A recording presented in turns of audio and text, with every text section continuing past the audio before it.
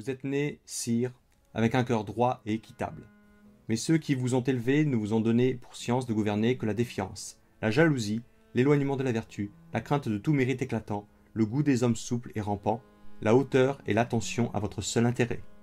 Depuis environ trente ans, vos principaux ministres ont ébranlé et renversé toutes les anciennes maximes de l'État, pour faire monter jusqu'au comble votre autorité qui était devenue la leur parce qu'elle était dans leurs mains. On n'a plus parlé de l'État ni des règles. On a poussé vos revenus et vos dépenses à l'infini.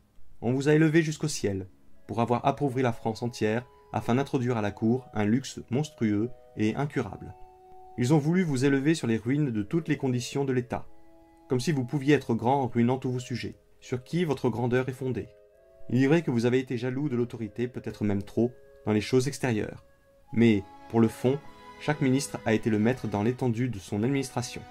Vous avez cru gouverner parce que vous avez réglé les limites entre ceux qui gouvernaient. Ils ont bien montré au public leur puissance, et on ne l'a que trop senti.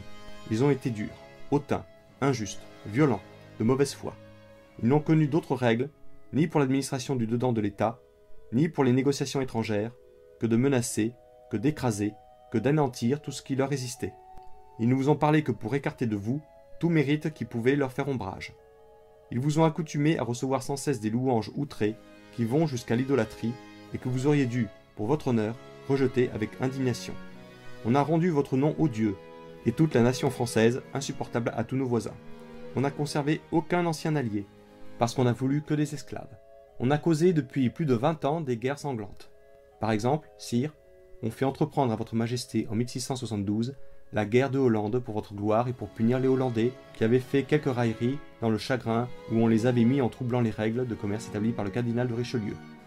Je cite en particulier cette guerre parce qu'elle a été la source de tous les autres.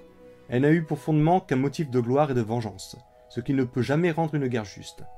D'où il s'ensuit que toutes les frontières que vous avez étendues par cette guerre sont injustement acquises dans l'origine. Il est vrai, sire, que les traités de paix subséquents semblent couvrir et réparer cette injustice, puisqu'ils vous ont donné les places conquises. Mais une guerre injuste n'en est pas moins injuste pour être heureuse. Les traités de paix signés par les vaincus ne sont point signés librement.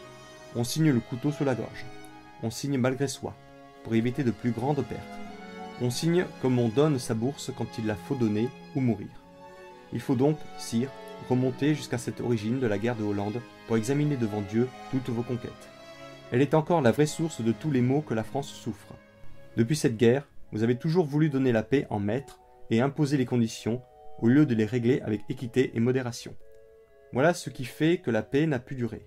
Vos ennemis, honteusement accablés, n'ont songé qu'à se relever et qu'à se réunir contre vous.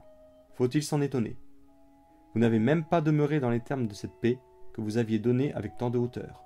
En pleine paix, vous avez fait la guerre et des conquêtes prodigieuses vous avez établi une chambre des réunions pour être tout ensemble, juge et partie. C'était ajouter l'insulte et la dérision à l'usurpation et à la violence. Vous avez cherché dans le traité de Westphalie des termes équivoques pour surprendre Strasbourg. Jamais aucun de vos ministres n'avait osé, depuis tant d'années, alléguer ces termes dans aucune négociation pour montrer que vous eussiez la moindre prétention sur cette ville. Une telle conduite a réuni et animé toute l'Europe contre vous. Ceux mêmes qui n'ont pas osé se déclarer ouvertement souhaitent du moins avec impatience votre affaiblissement et votre humiliation, comme la seule ressource pour la liberté et pour le repos de toutes les nations chrétiennes. Le peuple même, il faut tout dire, qui vous a tant aimé, qui a eu tant de confiance en vous, commence à perdre l'amitié, la confiance et même le respect. Vos victoires et vos conquêtes ne le réjouissent plus. Il est plein d'aigreur et de désespoir. La sédition s'allume peu à peu de toutes parts. Ils croient que vous n'avez aucune pitié de leurs maux, que vous n'aimez que votre autorité et votre gloire. Si le roi, dit-on, avait un cœur de père pour son peuple, ne mettrait-il pas plutôt sa gloire à leur donner du pain et à les faire respirer après tant de maux qu'à garder quelques places de la frontière qui cause la guerre Que répondre à cela, sire? La personne qui vous dit ces vérités, sire, bien loin d'être contraire à vos intérêts, donnerait sa vie pour vous voir tel que Dieu vous veut et elle ne cesse de prier pour vous.